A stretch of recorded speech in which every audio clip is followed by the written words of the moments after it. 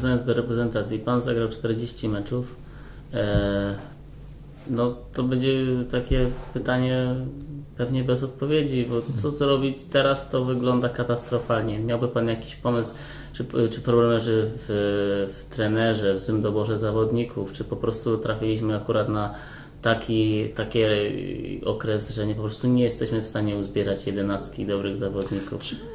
Uzbierać to oczywiście trener uzbierał, natomiast czy to są dobrzy, to pokazują wyniki i przyczyn może być zawsze kilka. Albo mm, oczywiście jest trener, który nie potrafi sobie z zawodnikami poradzić i, i odpowiednią atmosferę stworzyć, by ci zawodnicy mogli wygrywać, by stanowili zespół.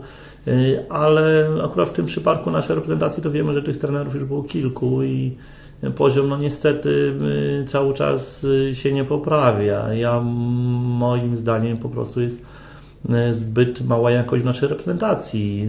Być może do kogoś to dotknie, a kogoś nie. No ale zdajmy sobie sprawę, że tak na prawym to mamy kilku zawodników, którzy grają na światowym poziomie. Oczywiście wszyscy Wiemy, że tutaj nasza trójka eksportowa z Borussii. Często sobie zadajemy pytanie, dlaczego Lewandowski nie strzela e, w reprezentacji. Dla mnie odpowiedź jest bardzo prosta i nie wiem na czym się tu zastanawiać, ponieważ nie ma dookoła siebie takich samych zawodników, takiej samej jakości, e, jakich mamy w drużynie klubowej i nawet sam Lewandowski ostatnio zbulwersowany odpowiedział na to pytanie, że przecież nie jest w stanie sobie sam dograć i sam strzelić. I na pewno to jest prawda, bo jeżeli zobaczymy bramki Roberta w klubie, gdzie zostaje idealnie obsługiwany przez kolegów, gdzie zazwyczaj to jest chociażby bramki z Realem, które wszyscy mamy w pamięci, to są y, sytuacje, kiedy on strzela z pierwszej piłki albo dwa, trzy razy dotyka piłkę. Y, no ale y, myślę, że, że jeśli chodzi o naszą reprezentację, to, to po prostu przede wszystkim brakuje brakuje jakości, brakuje zawodników, którzy na co dzień grają w najmocniejszych klubach europejskich, którzy grają na co dzień w Lidze Mistrzów. E, każdy z nas gdzieś tam, z tych zawodników gdzieś tam gra, ale, ale to, to, to nie jest to, co było kiedyś, bo można było tu wymieniać. Ja chociaż jeżeli nawiązał Pan do moich czasów, no to też mogę się posłużyć przykładem, że w, w, momencie, kiedy ja grałem w kadrze, to kilku zawodników grało w mocnych klubach holenderskich, kilku grało w mocnych klubach Bundesligi, kilku grało we Francji i praktycznie każdy z nas gdzieś tam grał w lidze europejskiej, czy wtedy w lidze mistrzów, czy w pucharach europejskich. I grał. I grał, tak. I grał i był znaczącym zawodnikiem dla swojej drużyny. Yy, więc jak my się spotykaliśmy, do tego gdzieś tam atmosfera i klimat, który udało się stworzyć tenerowi Engelowi, yy, no, sprawiło, że były sukcesy nie ma na pewno takiego materiału ludzkiego, jaki my mieliśmy wtedy i obawiam się, że przez najbliższe lata nie będzie.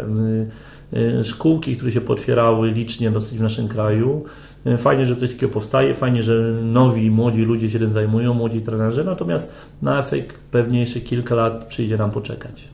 Jak Pan tak wspomni swoją karierę hmm no, dla dzisiejszych piłkarzy y, to, co Pan osiągnął, gdzie Pan grał i przede wszystkim Pan grał, a nie tylko siedział na ławce lub był w, szerokich, w szerokiej kadrze, no to dzisiaj to jest niebo a ziema. Uważa Pan, że mógł Pan osiągnąć więcej jeszcze?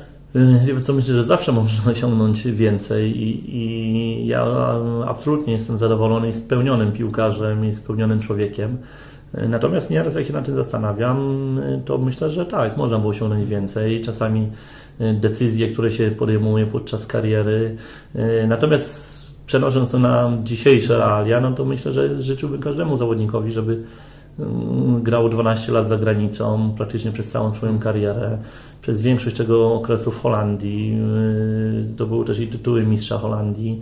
Bardzo mi jest miło, na przykład wróciłem teraz e, z Holandii, gdzie graliśmy z reprezentacją Polski w piłce plażowej turniej, że wszyscy mnie tam pamiętają, że że y, coś tam osiągnąłem, bo to są też takie dowody, które o tym y, świadczą. Y, I reasumując, myślę, że na pewno mógłbym osiągnąć więcej. W pewnym momencie miałem ofertę przejścia do Szalkę, na którą się nie zdecydowałem.